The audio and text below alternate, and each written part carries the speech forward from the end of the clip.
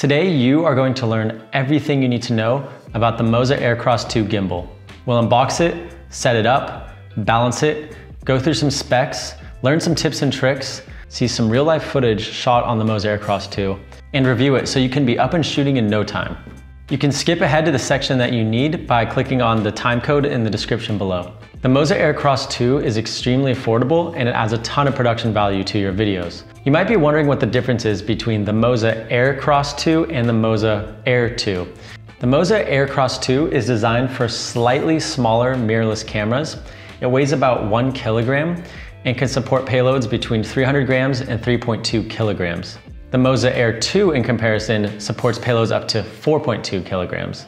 I'm gonna be testing it today with my Sony a6500 with a 24 through 105 f4 Sony G Master lens.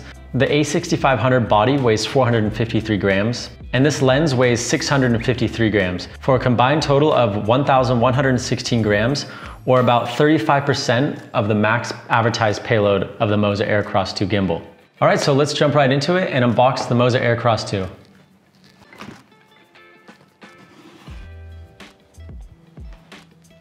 The first thing we have inside is the gimbal itself. Then I'm going to take out the tripod and attach it to it straight away. Then I'm going to pop out the battery and get this thing charging right away. It takes about two and a half hours to fully charge from my experience, and don't forget to remove the plastic strip that's on top here. You then have the Manfrotto quick release plate. You have the quick release base plate. Then comes the L bracket. You then have the phone holder, which you can attach to the top of the camera. Although I don't really like to use this because it puts a lot of top weight onto your camera and it makes it pretty difficult to actually balance the gimbal. You have an Arca Swiss base plate. You have a small little toolbox with all of the cables that you might need. And in theory, you should be able to connect your Sony a6500 to the gimbal and control the camera through the gimbal. However, after multiple attempts of doing this, I spent probably an hour trying to figure it out. I could not control my Sony a6500 through the Moza Aircross 2. If anyone knows how to do it, please leave a comment below. Um, I haven't seen any instructions from Moza on how to actually control the camera from the gimbal. Okay, so the first step is to take your gimbal, take the battery, make sure that it's fully charged and that you've removed the plastic safety strip and then you insert it like this. Then we're gonna take our Manfrotto base plate and attach it to the bottom of the camera. So let me just move this out of the way here. And the easiest way to do this is to flip your camera upside down. Make sure the follow focus support rod is facing towards the front of the camera. So if I have my camera upside down like this, with the lens pointing that way, I'm going to apply it like so. Try to get the base plate centered. And I always like to use a coin to tighten it as much as I can. Now we'll set the camera aside for one second. We're gonna take the Manfrotto quick release base plate and the L bracket. So we're gonna take the long side of the L bracket with the short side facing my right hand, your left, and we're gonna take the screw of the base plate facing away from the long arm, and we're gonna set it right on top like that. If you are having trouble moving this screw that's in the bottom of this base plate, you just need to tighten it clockwise and then it'll pop up and then you can freely slide it. So I'm gonna about center this. Again, I'm gonna take this screw and make sure it's facing away from the short side of the bracket. It's easier if you always turn it upside down. This is sort of an odd design because the screw won't fully let you push the bracket all the way in. It sort of obstructs moving this base plate. So the furthest you can go is about there. So that's where I have to tighten it. Okay, so once we have the quick release base plate attached to the long side of the L bracket, now we can take the camera, we can unscrew this screw here, and we just slide it in like so and it has these little safety pins to make sure it doesn't slide out of place. Make sure you firmly tighten the screw and we're gonna set this aside for one second. Now we take the gimbal. I'm gonna have the control panel facing me. You're going to unlock all of the latches on this gimbal so that the motors can rotate freely. So the first latch is here on your right side if you have the control panel facing you. Then you have a, another latch right hidden down here. So we're gonna open that one. And then we're gonna lock it so that it's perpendicular to the floor. We're gonna have this roll motor, the motor that's on the back, closest to me, facing me. And then I'm going to unlock the tilt motor. I'm gonna have it again, perpendicular to the table. And you know you'll have it right if the text on the tilt motor is written facing up and if the text on this arm is written facing up. If this is written facing down, you have it the wrong way. Now I'm just gonna lock this pan motor at the bottom just to keep it secure. I'm going to unscrew the base plate mechanism on the back of the tilt motor. I'm going to pull the safety latch and I'm going to start from the top and slide it down like that and make sure it's in there securely and you wanna just tighten the screw. Now let me just take one step back and take this camera out because I wanna give you the secret of how to balance any gimbal. The secret to balancing any gimbal, including the Moza Aircross 2, is to find the center of gravity of this whole setup. So you wanna find the center of gravity for the lens, the base plate, uh, and the L bracket and the camera body. So what you do is just put it in your hand and kind of get a feel for it. Obviously the center of gravity is not right here because if I were to balance this on my finger and let go, the camera would fall down like so. The center of gravity is usually somewhere down the barrel of the lens and then about an inch or two outside of the sensor. So right about here is where the center of gravity is on this setup. I'm not gonna try to balance my $3,000 camera setup on one finger but you can imagine that if I let go, I could do a pretty good job balancing it. Just get it, kind of get a feel for it and think about where the center of gravity is because what you need to do is get the center of gravity lined up with each of the axes of the motors. So I want the center of gravity to be in this axis, in this axis, and then right above this axis. Okay, so the first thing we're gonna do is balance the tilt motor. So I'm gonna face it like this way so you can see. So as you can see, if I let go, the camera is falling forward. That means that the center of gravity is ahead of this axis. So now what I wanna do is move this slightly ever so back and then try again. So now I've moved it too far because if I let go, the camera falls that way. The center of gravity is now too far on this side of the axis. So what I'm gonna do is just make micro adjustments like so. And when I say micro adjustments, I mean micro adjustments you wanna move just one hairline on the hash marks. And when you have it perfectly balanced, it should stay. And don't get frustrated with this. It will take a long time, your first time. But as you can see, we just got it. It's not very difficult. If you're having trouble, just take a breather, walk away from the table, and come back and try again in a few minutes. I found that that usually calms down my frustration. Now we're gonna face the camera with the lens shooting straight up. So again, as you can see, there's too much center of gravity on this side of the axis. It's falling that way. So what we need to do is move the camera this way. And we do that by loosening this screw here. I'm gonna push the camera that way. And now you can see I've done it too far, so I have to go back this way. And that's about right. You'll know that you have your gimbal perfectly balanced when you can point it in any direction and it stays there. I'm not gonna perfectly balance the gimbal in the interest of time, but you can imagine if I took my time, I would be able to have it stay right there in position. Next, we're going to balance the back motor. So I'm gonna unlock it and you can see if I let go, it's falling this way, meaning the center of gravity is too far past this axis, so I need to move the camera this way so I'm just going to unscrew the top here and kind of get a feel for it in my hands. Still going that way too much, making micro adjustments now, there. So now it's not falling to any side, so that means it's balanced in the middle. So now we're gonna balance the most difficult, which is the pan motor on the bottom. We're gonna unlock it, tilt it down. I'm gonna hold the gimbal perpendicular to the table, and you can see that if I let go, the camera is going this way, meaning I have to come back up, unscrew it, push it that way, and still too far.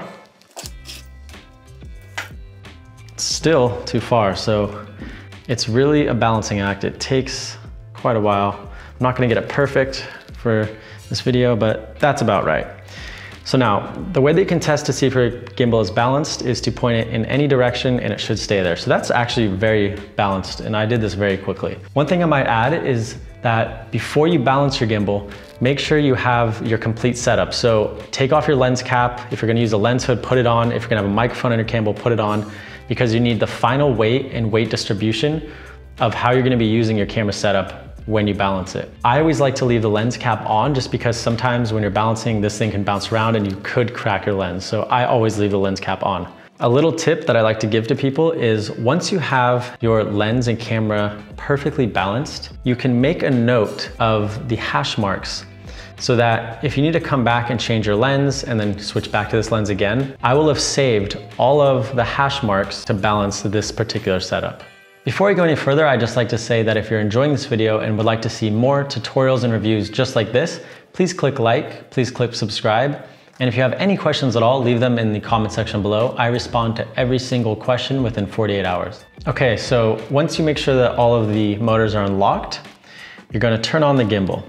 And you're gonna do that by long holding the power button that's right here around the follow focus wheel.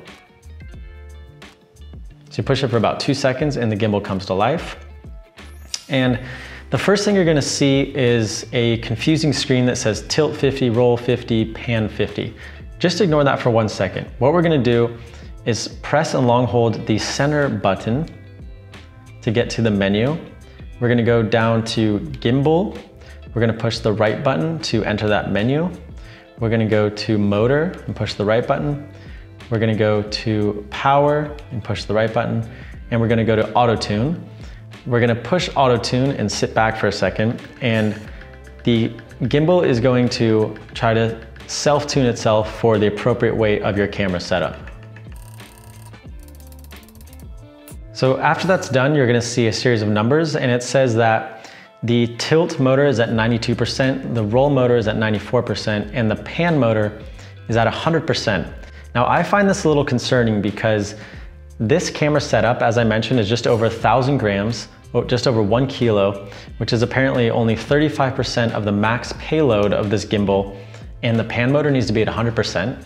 Imagine if I had a camera setup that was around three kilos, which is what they advertise as the max payload. Can you imagine how hard these motors would have to work? Now I'm gonna take you through all of the different modes. So by default, the Moza Aircross 2 comes in pan follow mode, meaning if I pick up the gimbal and I pan to the left and I pan to the right, the camera will follow.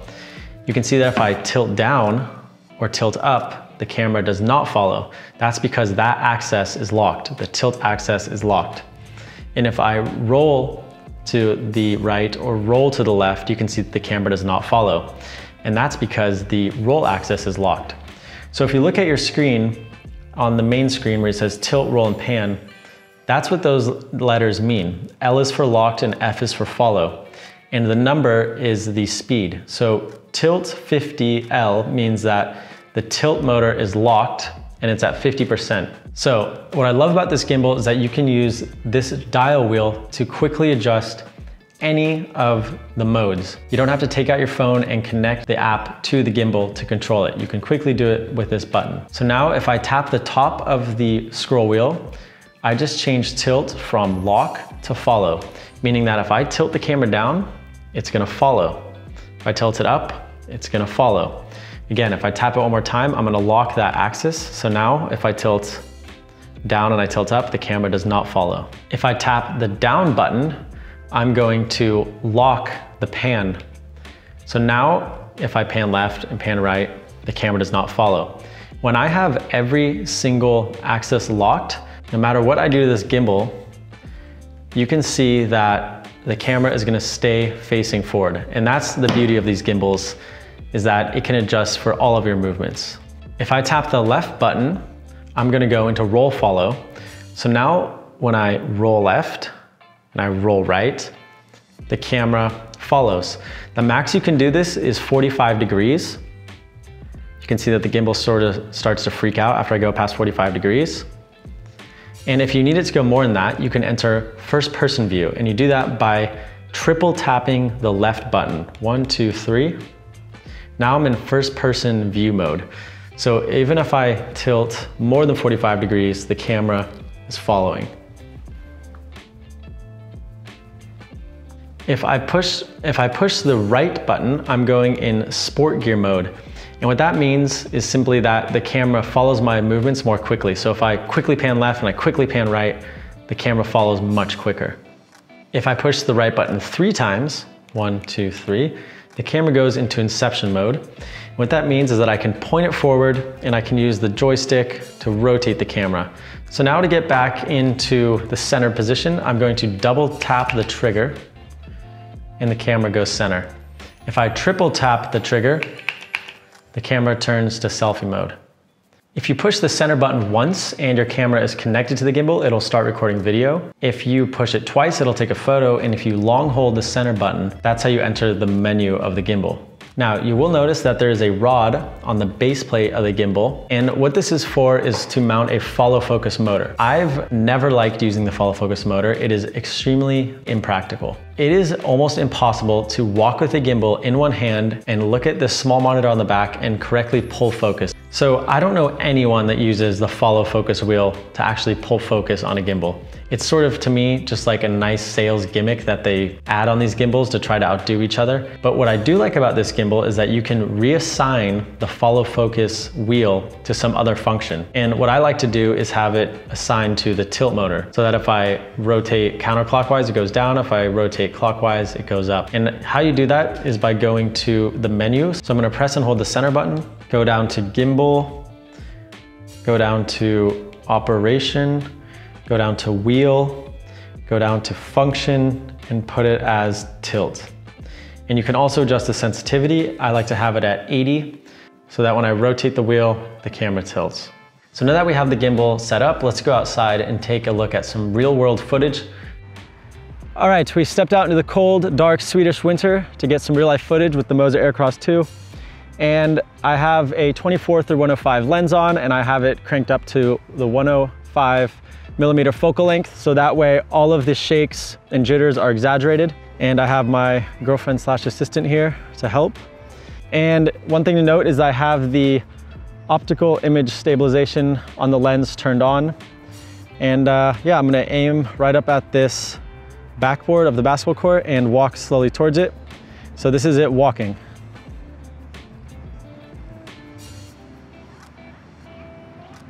Can see it does a pretty good job. Okay, so now I'm gonna do a fast walk towards the backboard.